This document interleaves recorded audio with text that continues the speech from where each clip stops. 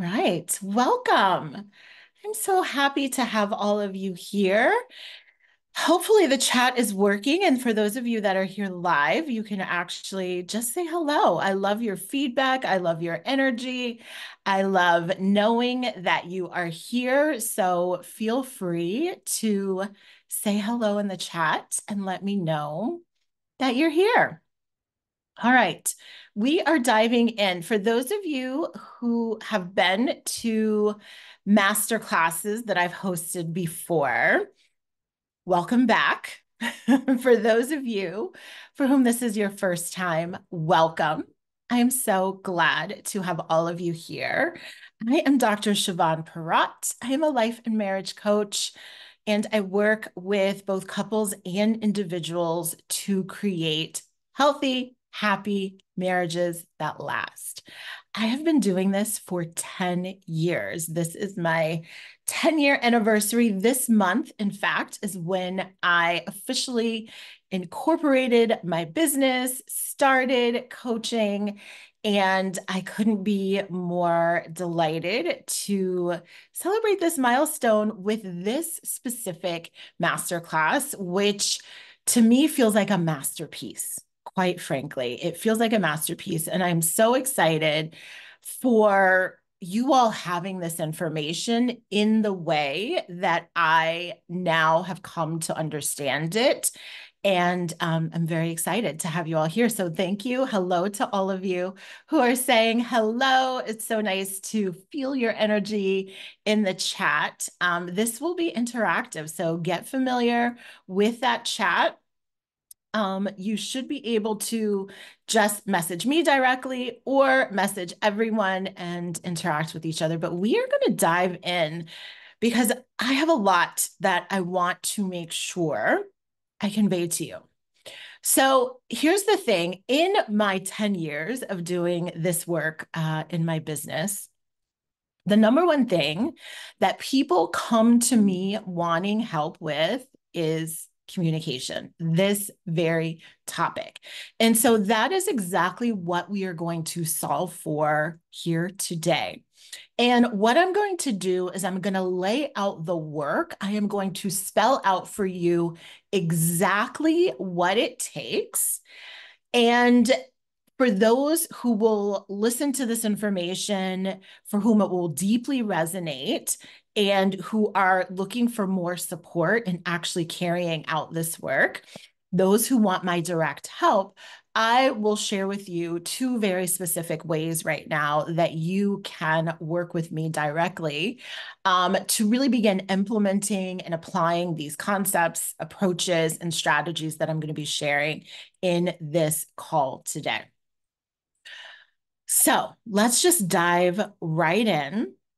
I want you to first think about your definition of good communication in your marriage, because that is the topic. And so it is so important that you have in your own mind some idea of what that actually looks like. Many times, what I find is that people throw out vague ideas. I want us to communicate more, I want us to communicate better. But what exactly does that even mean? So if you feel comfortable, you can just put in the chat what good communication looks like and means to you. Okay.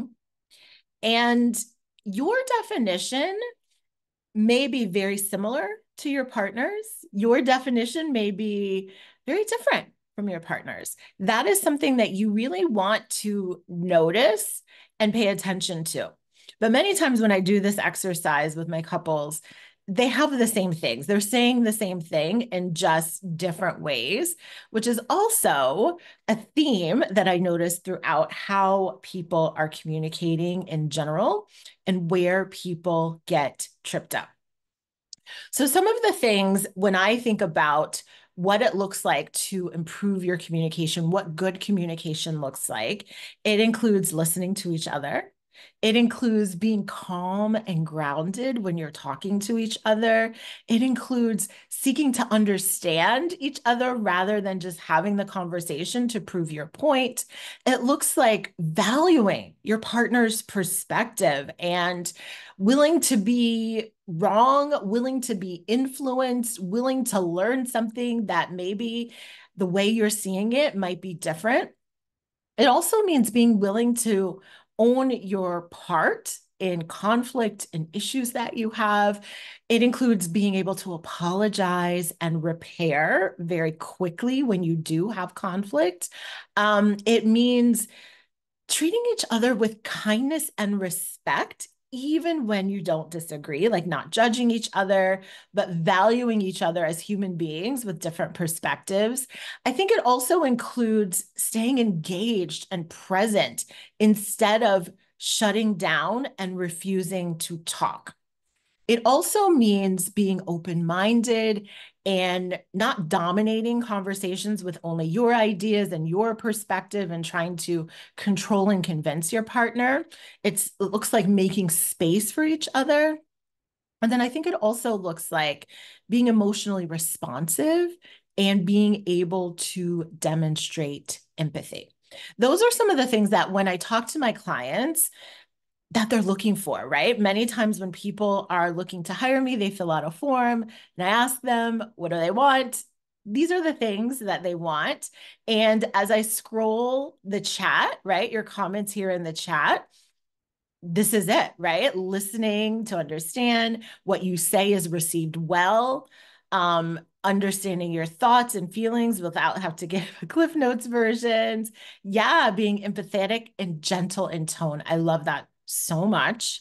Um, my husband and I used to joke. Uh, we went to a wedding once, and the pastor who was marrying the couple really sort of advised them, like, don't ever lose your tender tone with each other.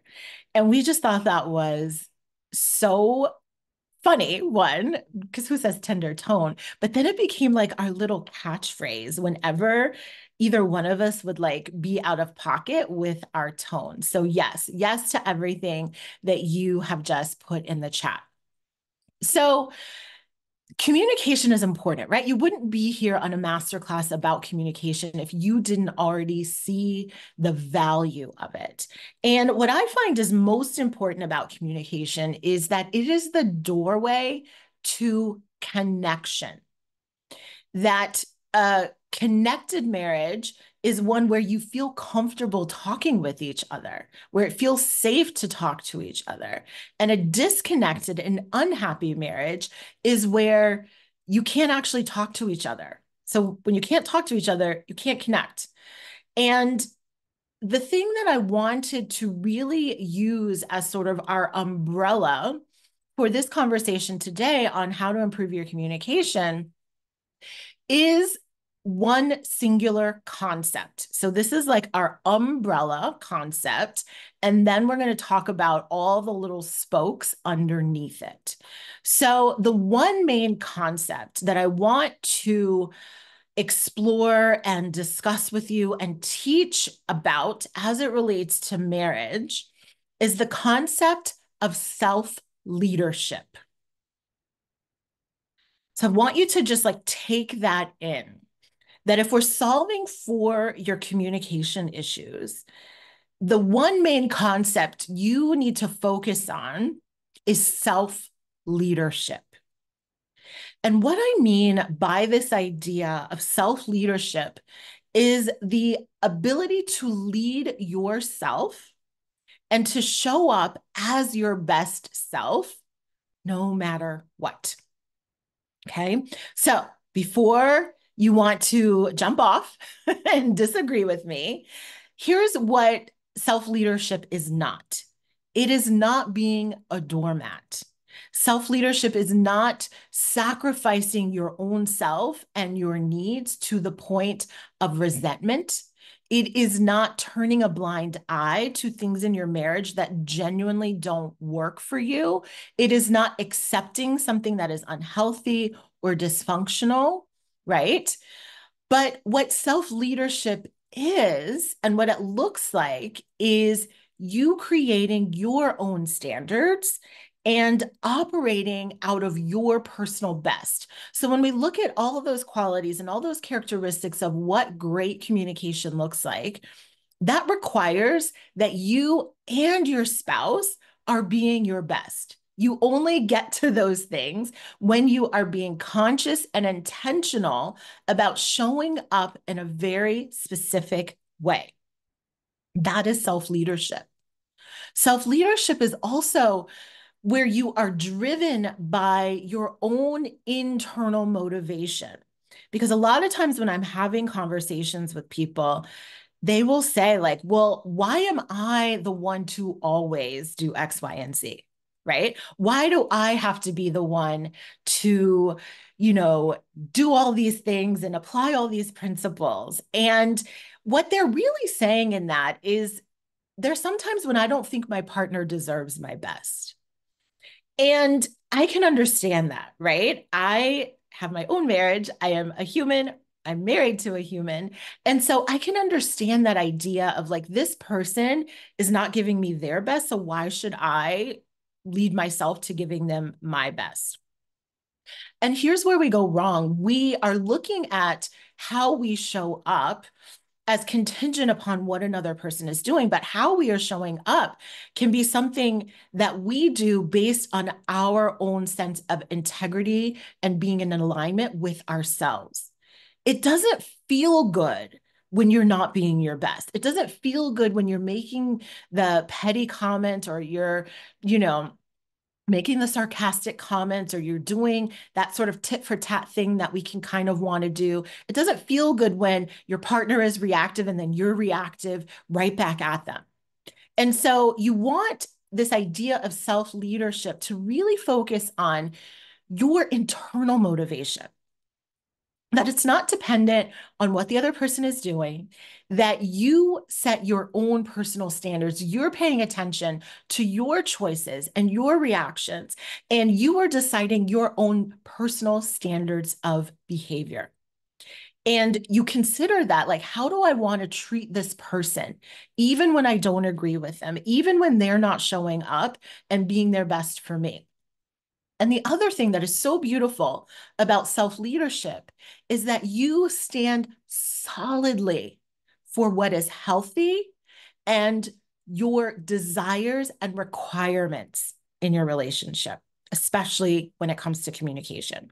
And so, essentially, what this means is that you show up as your best because that's the kind of person you are. You lead yourself well. You don't get petty. You don't spend a lot of time being reactive to what's happening. You are intentional, you are conscious. And so I want to explore with you like how you feel you're doing with that. If you were to rate yourself on a scale of 1 to 10, how well are you leading yourself? Where 1 is I'm not leading myself well at all. And 10 is I'm knocking it out the park. I would love for you to just put your answers in the chat and just be honest, right? There's no, there's no like, no, no shame, no matter what your number is. Okay. So we've got some eights. Good. We've got some high numbers there. Fantastic it's so funny. I always love when I ask these questions and people rate themselves. Part of my doctoral research was this concept of interpartner reliability, where like one person was rating themselves on some quality or characteristic. And then we were asking their partner what they would rate. And like the numbers never matched, right? So you may give yourself a certain number, your partner may give you a wildly different number. Um, so we've got eight, six, sevens, fives. Okay that's good. That's good. That's honest. Um, so we want to be conscious of being our best. And so, what I want to do for the rest of our time is talk about the four main obstacles, the four biggest things that get in the way of you actually being able to lead yourself well consistently and to, you know, no matter what, show up as your best, most loving intentional self in your marriage. Okay. So, number one, and for my note takers, definitely take notes on this, right? I'm not using slides today because I really just want this to feel like a very in depth personal transformation for you. And I don't want the cumbersomeness of slides. Okay. So, number one, unhealed or unaddressed experiences that we all have and carry from childhood, previous relationships, and history in your current marriage. Okay. So we're talking the obstacles, the things that get in the way of you leading yourself well. Unhealed or unaddressed experiences from childhood, previous relationships, or history and things that have happened inside your current marriage. Right. Now, how we know this happens and what it looks like is a lot of times we exist in a triggered state, meaning there is a overreaction, meaning you are highly and intensely emotional and emotionally reactive to a circumstance or an incident in proportion that is greater than the actual situation. So it's sort of like the person who will blow up and lose it when they walk in the house and their dishes in the sink, or the person who will call and text their partner incessantly when they don't respond back to them, or the person who, you know, suggest something that you all do together as a couple and they don't get the response that they want so they just like shut down and say i will never ask you to do something like this again right? A simple circumstance a simple situation but for you inside and emotionally it is huge. It is a big deal. And so what's happening in these situations when we are in a triggered state is these things come up for you and you go into what is called fight or flight mode. And in this day and age, we've expanded fight and flight to include two other responses freeze and fawn. So, what that means is that when you're confronted with a situation, you are reacting not only to that situation right there, but you're also reacting to some wounding or trauma that you experienced as a child that feels like that. And or you had another relationship where that dynamic was similar. And or this particular situation is so commonplace in your current marriage and has never fully been resolved that it's like an open wound and so in your triggered state, you are activated to either fight, which means you're going to have very aggressive conversation, complaining conversation, criticizing, blaming, shaming communication. You are going to be on attack mode. Or you're going to have a flight response meaning you are going to kind of check out of the situation. You're going to distract yourself with something else. You're going to sweep it under the rug. You're going to minimize it, dismiss it, defend yourself. Or you might have a freeze response, which is you are emotionally overwhelmed and you literally say nothing right? There have been so many times when I'm coaching my clients and they're trying to have a conversation with their partner, and their partner is literally like a deer in headlights saying nothing. They're emotionally flooded and overwhelmed. Or you might have a fawn response, which is what we consider sort of people pleasing, that you're going to yes your partner. You're going to be a yes man, a yes woman, like, yes, I'm sorry, you're right, just to escape the conversation, right? So you want to know when it comes to you being triggered, what is your automatic nervous system response. Is it fight, flight, freeze, or fawn? And what you want to do is you want to be able to connect the dots for why that is so hard for you, whatever the situation is. And many times, what I find is that there is a wounded child or a wounded younger version of yourself actually showing up to that interaction. And so, using the healthy communication skills that you can Google or read in any communication book. is not going to cut it. It's like trying to tell a five year old child to use your words when they're in the middle of a temper tantrum right? It just doesn't work. Your brain, the part of your brain that's going to use any healthy communication skills is literally shut off. And so you have to know when that part of you is showing up. You have to know what is activating that part of yourself, right? But what I find is that so much of this is unconscious, right? We don't even know because we're just angry and we're lashing out, or we're angry and we're distracting ourselves, or we're frustrated and we just shut down. Okay. So you want to be practicing the skill of self awareness. And I have this concept called trigger tracing, where I literally show you how to trace any of the triggers that you are experiencing in your marriage back to their root. And when you understand the root, your whole experience of that trigger changes. So I want to give you an example. I had a client, a woman who was married for many, many years. And what she found was so hard for her in her marriage, among other things, was feeling like anytime her husband gave her a suggestion or asked her a question, she felt like he was being controlling and criticizing her, no matter how he said it. So, this is a case where we could have given him all of the right communication skills. And yet, because her experience and her trigger was feeling like she was controlled, it wouldn't work. She always had a bad reaction. But what we did in the trigger tracing process was we uncovered that she grew up in a very, very strict and religious home where there was a lot of, you can't do this. You shouldn't do this. And there was a lot of shame for not following the layers upon layers of rules.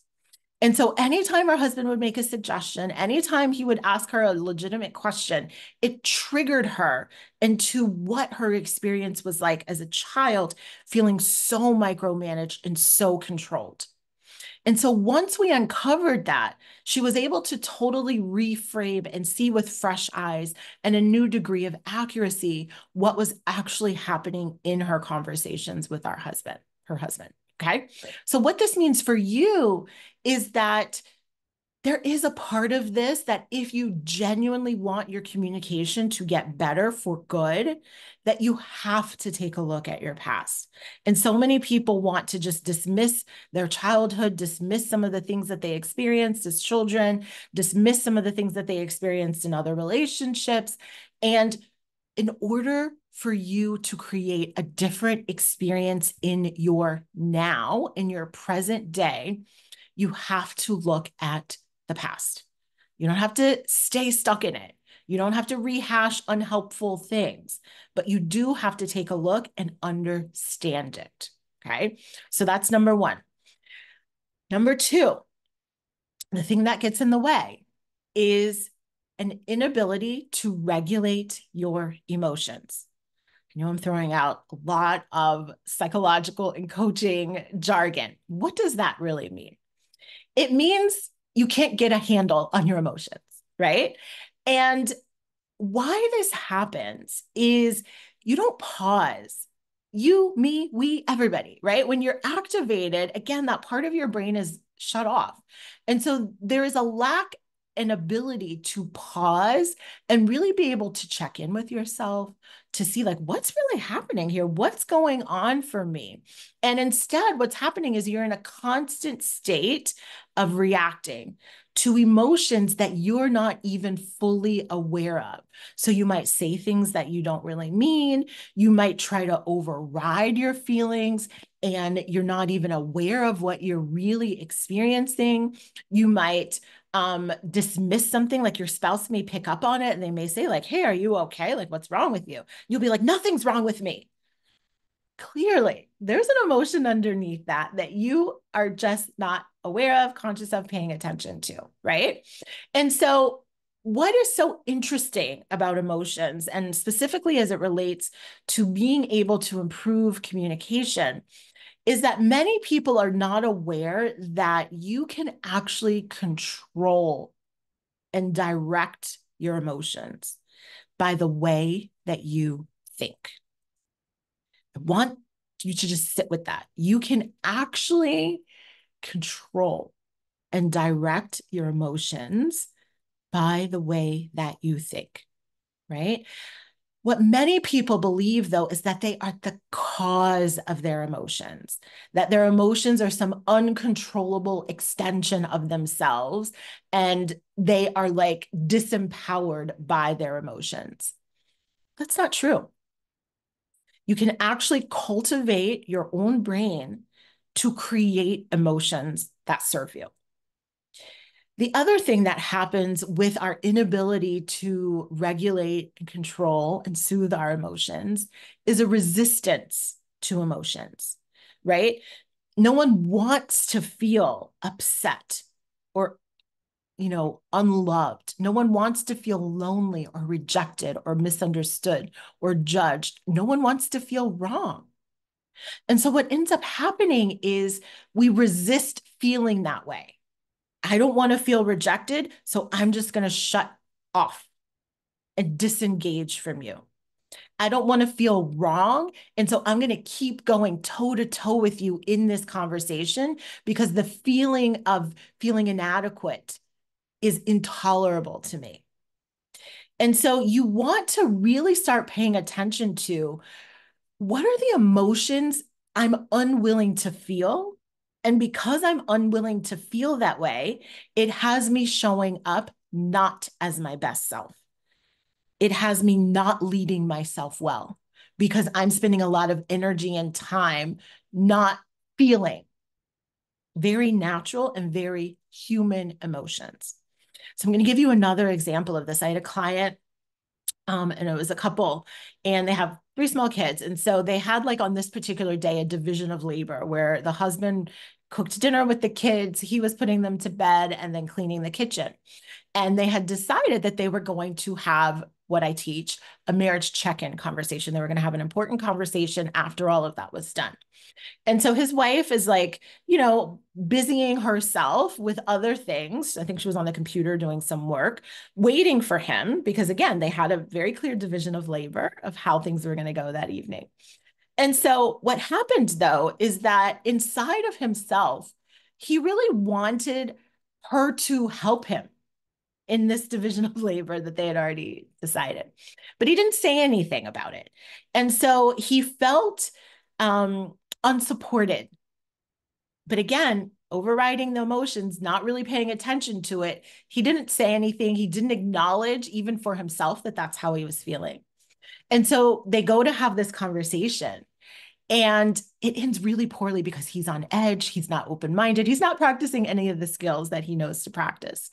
And as I was coaching him and we were analyzing this scenario, we uncovered that initial emotion of feeling unsupported, of feeling alone, of feeling like it wasn't a partnership, but then trying to like layer on this conversation when he was already feeling that way. Right. And so it's so important that you do develop the skill of knowing like what's going on for me how am i feeling and today i was doing a call with um with a new couple i'll be working with and i asked a question and the husband was like man you're going to get me in my feelings. And I'm like, yes, that is this work. If you genuinely want your communication to be better and to be different, there is a part of this that requires you get in your feelings. Because let me tell you, your feelings are running the show. Your feelings are putting you in that fight, flight, freeze, or fawn response that is breaking down and eroding the quality of your communication. So you want to be thinking about your emotions. All right. Number three, the third thing that gets in the way of you being able to lead yourself well is just not having the know how, not having the healthy skills. And so many of us grow up in dysfunctional environments, but we don't even know that it's dysfunctional because it's familiar. And so we think that's just how people talk to each other. That's just how people handle conflict. There's nothing wrong with that. That's how it was done in my family. And sometimes I have to like throw up my stop sign and be like, that's dysfunction. That's not healthy. It shouldn't be that way. Because we don't know, right? We grow up in these environments and God bless our parents and God bless our grandparents and God bless the whole lineage, right? But we're now living in a day and age where we have such massive access to healthy communication skills and tools. And so, as you expose yourself to that, as you plug in to master classes like this, my podcast, my YouTube, my email, all the things that I put out there, it is my hope and desire that you begin to see that just because that's how it was done in my house, and just because my parents may still be together, doesn't mean that it's functional, doesn't mean that it's healthy, doesn't mean that it's anything to ever be replicated. And so we don't have the skills because we were never taught the skills. We never saw the skills. We don't even know that we're missing some skills that we're actually missing. And what what do I mean when I say that, right? That's yelling, name calling when you're angry. That's not healthy. There's shutting down and refusing to talk about something. That's not healthy. There's being defensive and being unwilling to look at yourself and acknowledge your responsibility in some conflict. That's not healthy. There's assuming that someone else should just know what you want and anticipate your needs. Not healthy. Complaining your way to get what you want, shaming your partner, blaming your partner, criticizing your partner. Not healthy. And so, so many of the things that couples need to create healthy communication are just missing. Like we're looking in the toolboxes and the tools aren't there, right? And some of the main communication skills that I see that people are missing are how to start an important conversation. Usually, conversations start with a complaint. Why don't you ever? Why can't you ever? When are you ever going to? Right? So we don't know how to start conversations. We don't know how to constrain issues and just talk about one thing at a time. You have those marathon conversations that start off as one thing, but then it snowballs into all these other things because you have that history, whether it's the history in the relationship, the history in your past relationship, or the history from your childhood. So everything is just like a groundswell magnifying itself upon itself, right? Um, other things, how to make a request, how to set a boundary, how to express a concern, how to resolve conflict. Those are all skills that people just don't actually have, right? Other skills that people are missing, not only the communication, tangible, tactical skills, the relational skills. Having a healthy relationship is a set of skills, right? We think because when we first get together, it's so easy and natural, we think we're not practicing any skills, but you are. And over time, you take your eye off of those skills because they never really felt like skills. But skills that are so important to improving your communication, how to be empathetic and vulnerable, how to be compassionate and emotionally responsive. Those are the most important ones that I teach on and can talk about every single day, all day. Those are my favorites. All right. So I'm going to give you another example here. I had a client who grew up um, really tough circumstances, right? Father not there, mother doing the best she could. He was the youngest boy. And in his life, he did not experience a lot of empathy. His home was not nurturing, right? His mom was just like doing what she had to do to keep the family surviving, right? And he never had anyone to talk to. So we were talking about this how, you know, he'd come home from school and have a really bad day, and there was nobody there for him to talk to and to share how he was feeling. And so what happened for him is he just shut that part of himself off. It's like, oh, my problems don't matter. My feelings don't matter. Click off. Right. And so he had a wife, though, who was the exact opposite, who was very tenderhearted, very emotional, in tune with herself and how she was feeling. And so, whenever she would share with him how she was feeling, he could not handle it. he would get so angry, so frustrated, so annoyed, right? And what we found was that he just didn't have the skills because one, he didn't have any empathy receptors or very few because he never experienced empathy. And then he didn't know how to give it to her, right? But we worked on that. He developed the skill set of empathy. And if you listen to my podcast, I actually did um, a podcast episode. I didn't call them by name, but I talked about like what it looks like when this work works, right?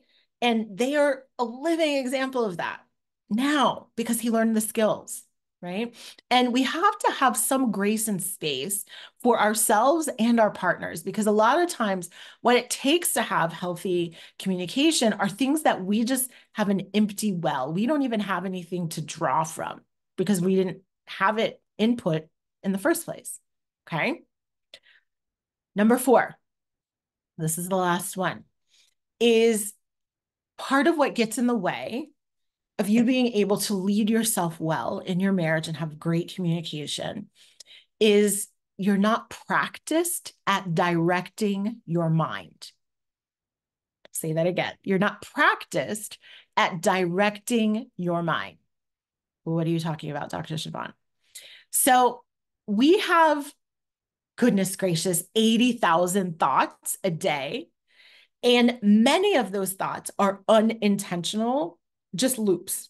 We're not even paying attention. They're just like audio recordings going on in our head. And what happens is we believe our thoughts. So we have a thought, your partner doesn't care. He doesn't care about you. She's always complaining about something. This is like, I'm so unhappy and I'm so frustrated, right? Those thoughts can be on continuous repeat and it feels like the truth. My partner doesn't care. My partner is always complaining. My partner never gives me the time and attention that I want. And so when you rehearse thoughts over and over and over again, your brain begins to wire itself and to literally look for that to be true. So it's building a mountain of evidence that this is the truth. And there's so many times when I'm talking with people and I'll say to them, like, what if that's not true? And they're looking at me like, what are you talking about? Of course it's true. But it's not. Most times it's not, right?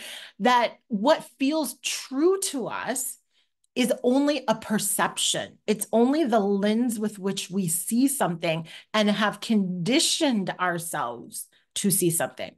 And we all have biases that shape the way we experience situations. We all have a unique perspective that is our default way of seeing things.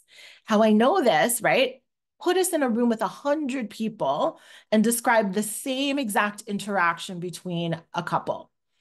Everyone's going to have a different take on that situation, depending on their childhood, what they saw growing up, experiences they've had, their wounding, their adaptations. There's endless amounts of things that go into feed and shape our perspective, right? Now, what is so powerful about thoughts is that they drive the way you feel. And your feelings drive your actions. And this is true for every single one of us. Every single one of us. Even if you don't consider yourself an emotional person, right? Every action is based on an emotion, right? You pressed join this call because you were feeling an emotion. You were feeling curious, hopeful, right? You had the conversation you had with your spouse in the way that you had it with them because you were feeling an emotion. So, one of the most common thoughts my spouse doesn't care how I feel, right? And I want you to think about if that's true, if that's what you perceive as true, what is it like to to think that, to think that your spouse doesn't really care about how you feel? Or that in an argument or a conversation they're so rude and disrespectful or whatever, right? It feels awful, is how it feels, right? It feels discouraging. It feels rejecting. And so when you're feeling discouraged, rejected, awful, how do you show up? You're not like, hey, let's sit and have a emotional powwow together. You're like, get away from me. I don't even want to talk to you. I'm so hurt by what you said. I can't, I can't. Right. And that's contrasted with if we just shape and massage that thought and get you to a better place, right? If the thought instead is, I can always talk to my spouse about the things that are on my mind. How does that feel? Right? Probably feels safe, probably feels supportive, accepting, right? And when you're feeling that way, the way you start a conversation, the way you have a discussion is radically different, right? So, the secret fuel that is going to help you, and what most people don't know, is harnessing the power of your thoughts to move you in the direction that you want to go. Focusing on thoughts that serve you, focusing on the things that help you feel good so then you can lead yourself well. Now, I want to be very clear because whenever I talk about thought work, people are like, do I just live in a fantasy land? No, this is not about trying to believe something that you don't actually believe. That doesn't serve anything in anyone right? But this is about you finding things that you actually believe that feel better to you, that help motivate you to do the thing that represents your personal standards of behavior. Okay. So I want to give another example of this. I had a client who spent many, many years in the fawn mode in her relationship and really sort of catering to her spouse, self sacrificing, and not really attending to her own needs, which led to a lot of resentment. And so then she swung the whole other way of like being very aggressive, very resentful. And she was overcompensating, right? For all of that time, feeling like her needs weren't being met. And so what we did, we got her to a place of believing my needs matter just as much as my partner's right? And I want you to think about like, what does that feel like? It feels like, okay, I can listen to you, hear you, understand you, and I can also share and express myself. This isn't a competition, there's space for both of us, right? And that really helped her, one, actually make healthy requests of things that she genuinely wanted. And it also helped her put up some boundaries of things that she just wasn't able to continue doing because they were stretching her way too thin and leading to resentment. Okay. So, those are the main things that get in the way of you leading yourself well, right? Number one, those unhealed, unaddressed experiences from childhood, other relationships, your current marriage, the inability to regulate and manage your emotions. You don't have the healthy skills because you never saw them, or not having the pract- practiced skill of directing your mind. Okay. So that is the, those are the obstacles, right? And really, when you address those obstacles, you will lead yourself well in your marriage. And when both of you are doing that, both of you are leading yourself well in your marriage, both of you have addressed these obstacles, your communication is effortless because we now have two different people having conversations. Right. So some of you, you're hearing this and your uh, light bulbs are going off. Let me know in the chat if that's you what makes sense to you, what resonates with you, what's really landing with you is like, oh my gosh, this is the work, right? I would love to hear. So feel free to type it in the chat. And I want to also acknowledge that for some of you, you may be listening to this and you're like, oh my gosh, this feels like a lot of work.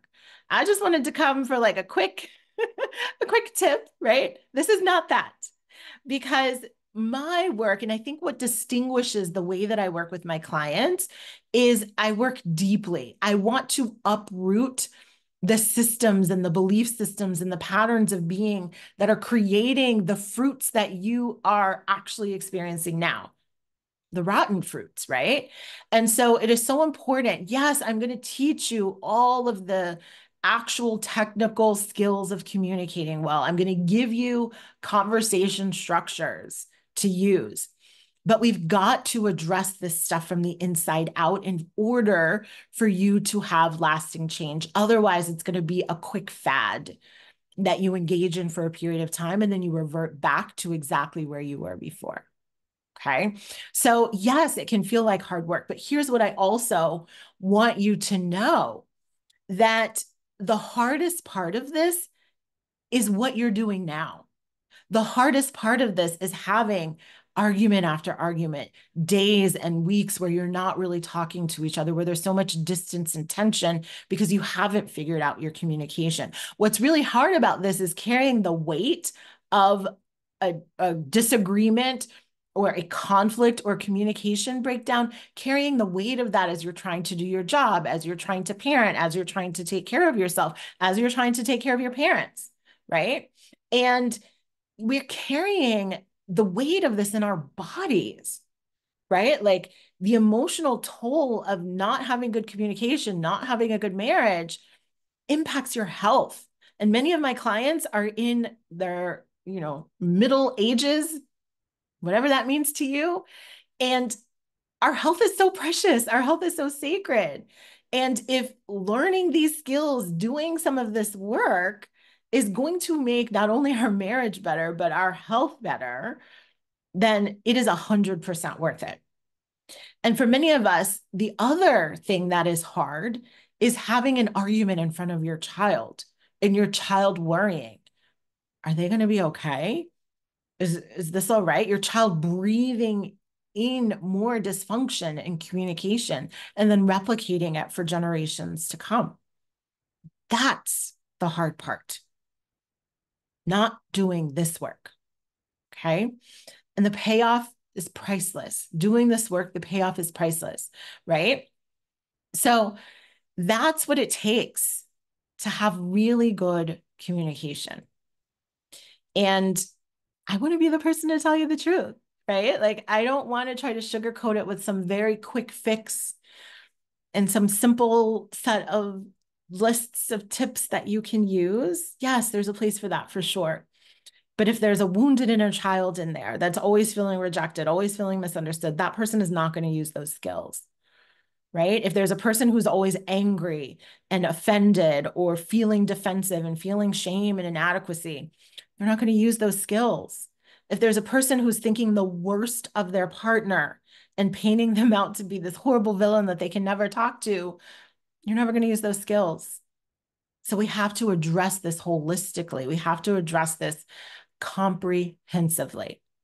And that is the point of this masterclass and sharing with you the four obstacles to self leadership in your marriage, to you leading yourself well, and ultimately having great communication where you're heard and listen to each other, where you can get on the same page, and ultimately create a better marriage.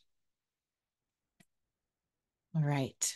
So here's what we're going to do next. For those of you who are interested in learning about what I have available in terms of programming, I'm going to share the ways that you can work with me. And then I'm also going to answer and stay on a little bit to respond to any questions that you have about this content. Okay. So I am now going to. Yes, you will get access to this recording. Yes. okay.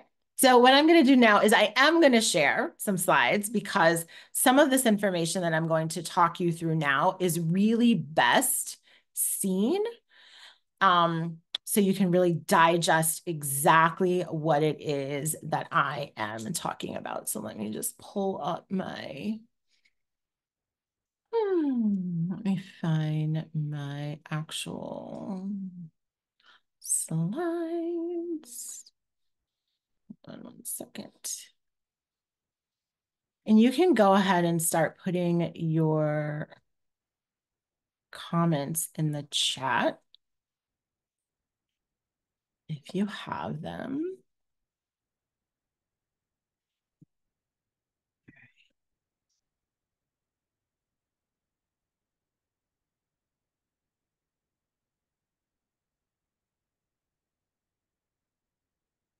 Okay. So you guys are super lucky. Let me just tell you how lucky you are because you are going to get an inside scoop to something that no one else knows about yet. So for those of you who've been following me for a while, you know that I offer private coaching. I do offer private coaching that is always available currently. it is available. Let me say that. It is currently available. I work with clients for six months at a time. We have weekly calls. We address all of these things. You have a very private and customized experience. But I am also releasing a new program that I'm super excited. And you guys are literally the first people to hear about it. So, the name of that program is How to Be Married. I have been dreaming of this, conceptualizing it, organizing it, marinating in this for two years, literally two years. And I am finally ready to release it to the world. And so, you all are the first to hear about it. So, I'm going to share my screen and I'm going to give you the opportunity to learn about this program. All right. Hopefully you can see everything great. So how to be married is a course. It is coaching and it is community. What does that mean? Here are the details. So it is a 12 month program. It is a course it includes a course, right? That has six modules. It's an online course. Let me say that. So everything is online, accessible on your, your computer or smartphone. It is six modules and 18 interactive video lessons. So if you really got a lot out of this masterclass, which isn't even a course, it's a free masterclass, you are going to find incredible value out of any one of the modules in this course. Okay, so it's six modules, 18 videos, so three videos each module. It is coaching. We have a monthly coaching call, a 60 minute monthly coaching call where we get together on Zoom.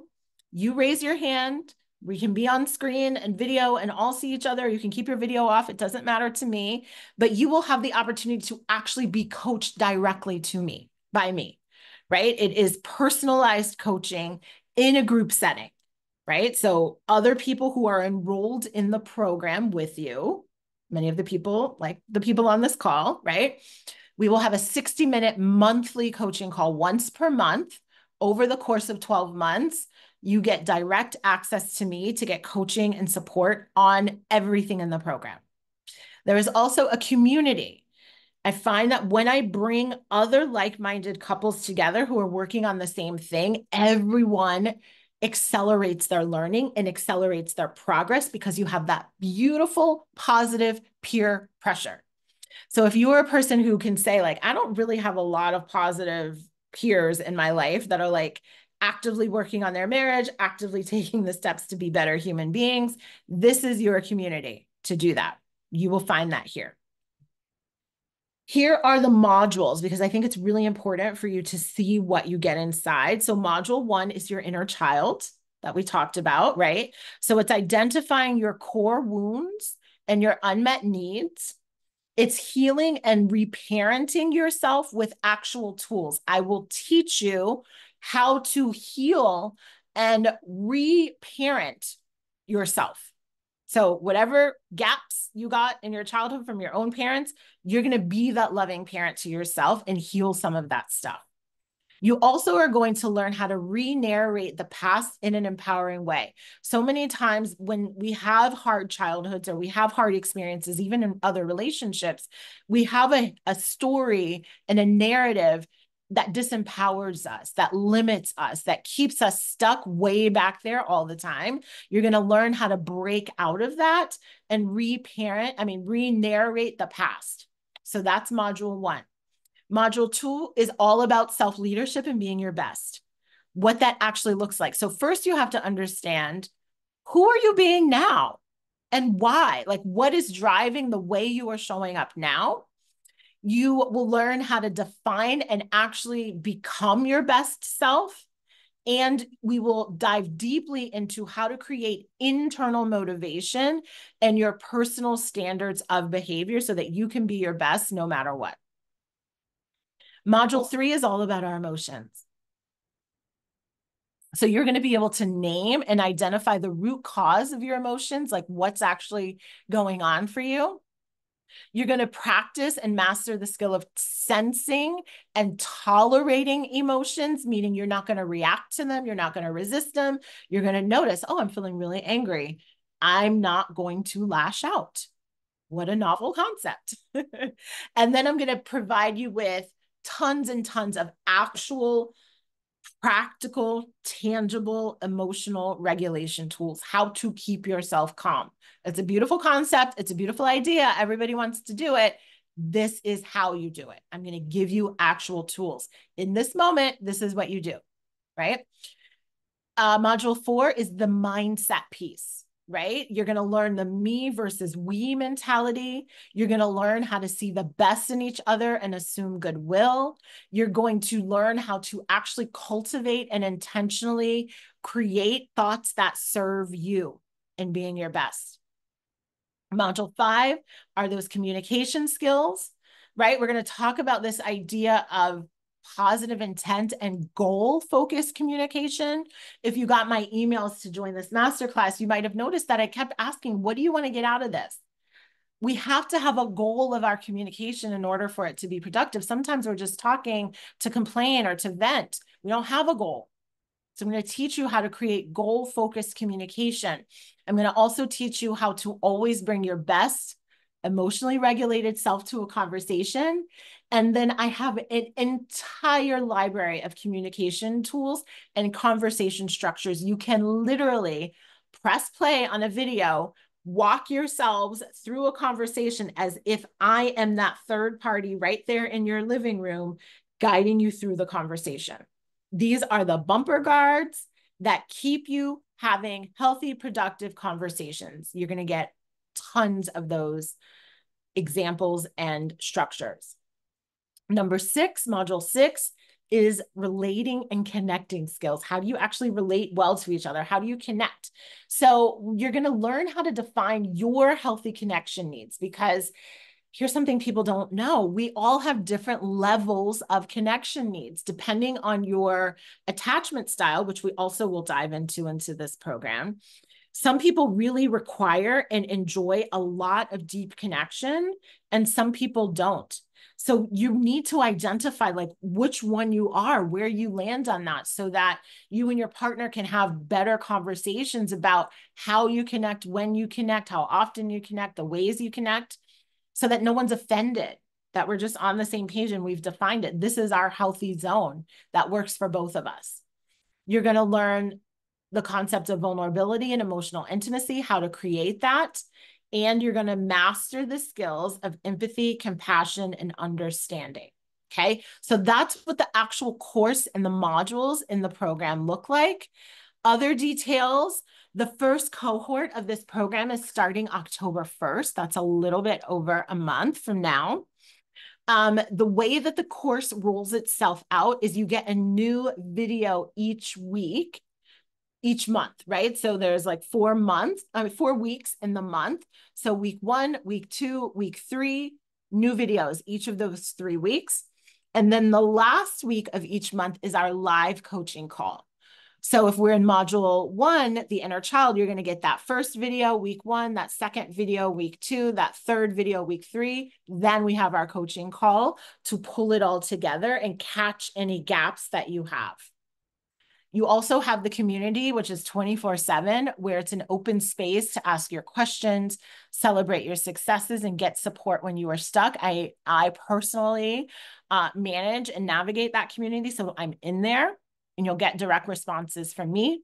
And everything is app based. So I host all of my coaching programs on a platform called Kajabi, which is a video, I mean, an app based um, application. So if you have an iPhone, you can pull it up on your iPhone just like any app on your phone.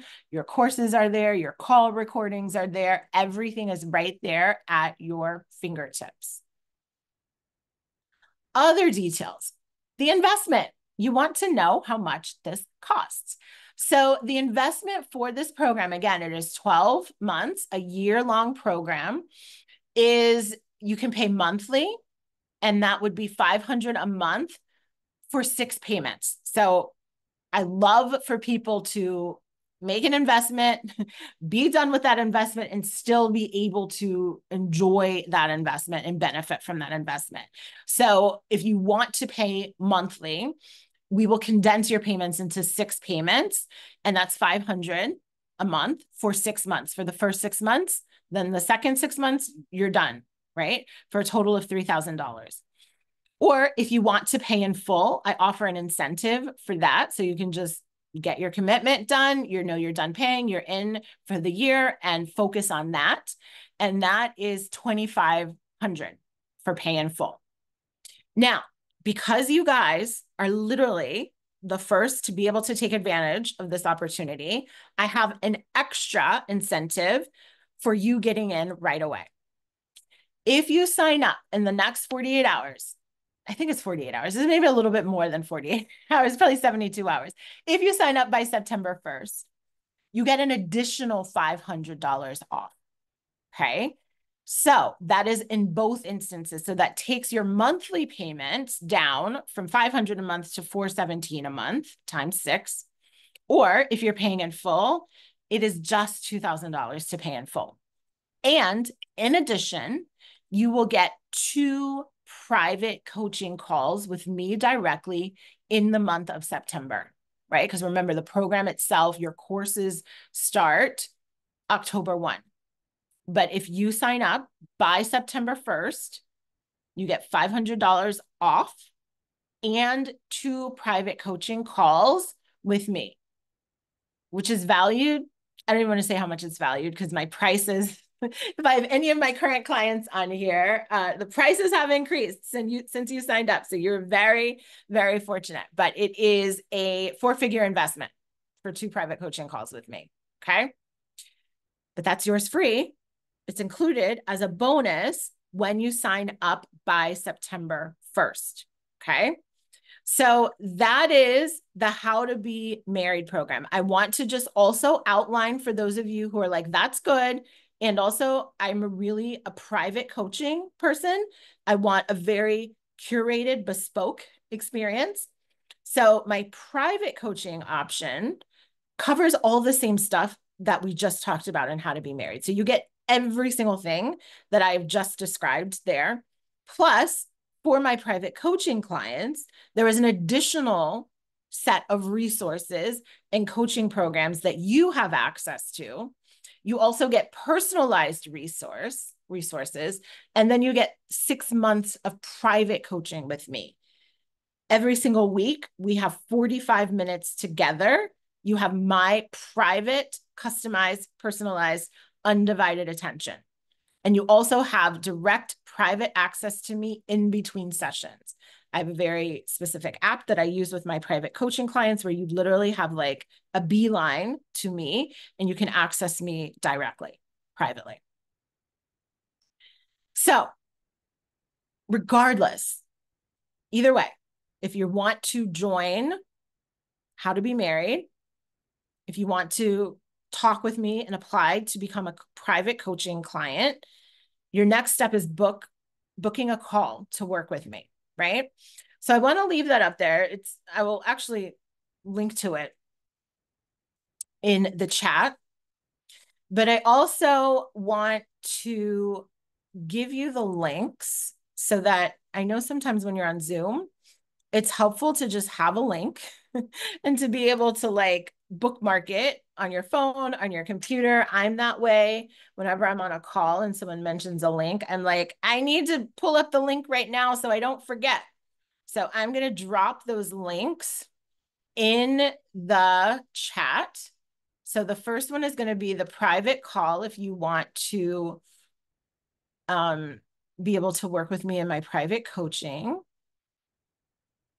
You just schedule a consultation call that's by application and consultation only.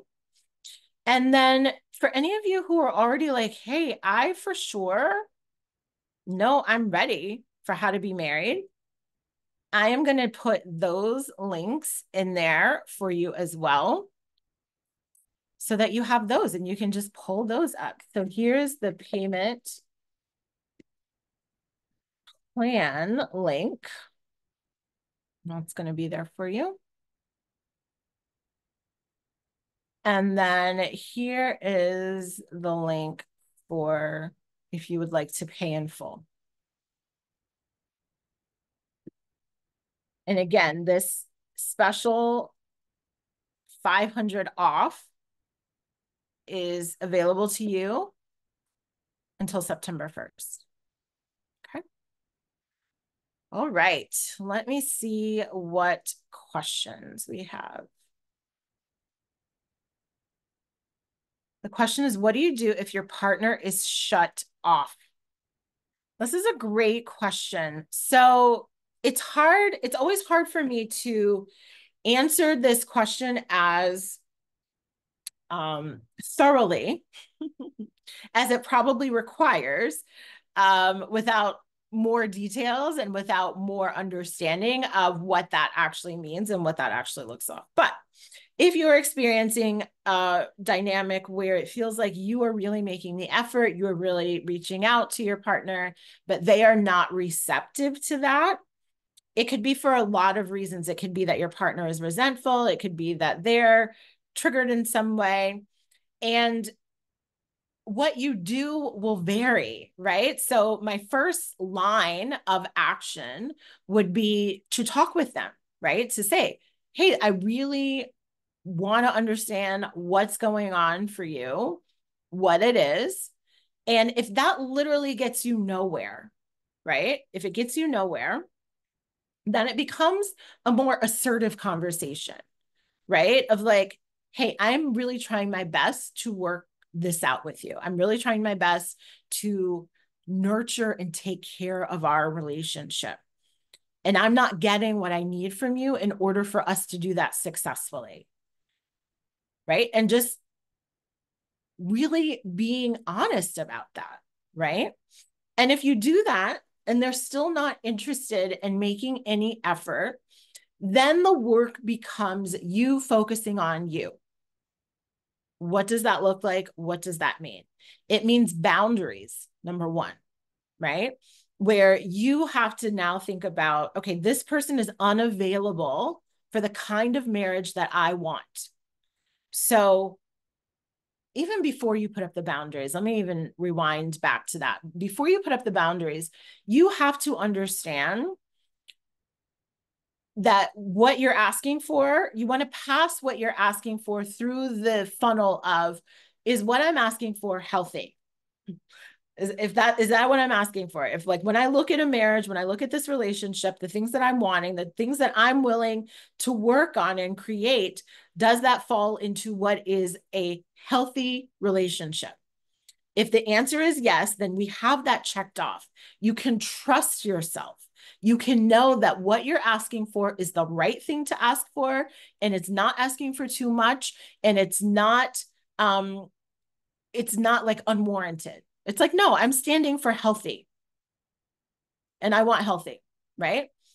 And if you do that and they're still not available, then that's when we go to the boundaries. That's when we go to you deciding for yourself, how long can I stay in this situation where my partner is like cut off from trying to work on our marriage? Okay. Let's see, there's another comment there. Yeah. So you have a very defensive spouse who puts the blame on you. That is them not following this process, right? Because healthy communication is like you're able to listen, you're able to be open.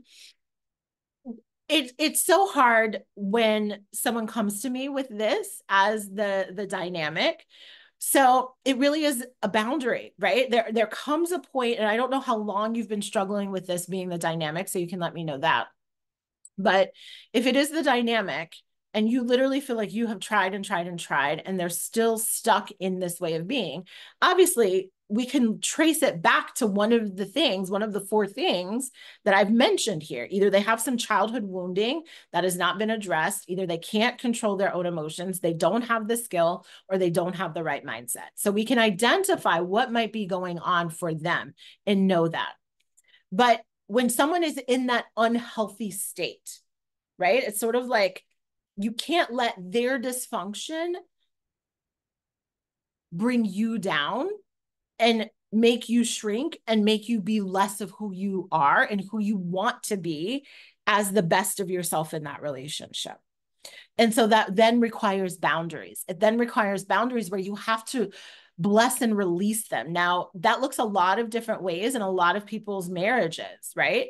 That might be bless and release and just like, I'm going to coexist with you in a way where like I'm not going to have a lot of expectations because it's clear that you're not interested in partnering with me on those expectations. So I'm just going to release you. Like, I don't need that from you. I'm not going to ask that of you. I'm not going to try that with you anymore. And you can do that from a very loving, respectful place. Like it doesn't have to be like, forget it, I'm shutting down and I'm not here either. Right. Or it does, in some cases, for some people, reach a point where they're like, I can no longer be in this relationship with it being this way. Right. So you will know, and you know, I work with clients on that as well. That is something that I do definitely inside my private coaching programs because that is a dynamic that's a little bit different that requires a very customized, personalized approach based on what is going on in the relationship. So if this is something you're really actively looking for support on and you want to make some significant tangible progress, I just highly encourage you to go ahead and schedule a consultation call with me and we can talk more about how I could support you exactly through that right? Other questions? You're so welcome.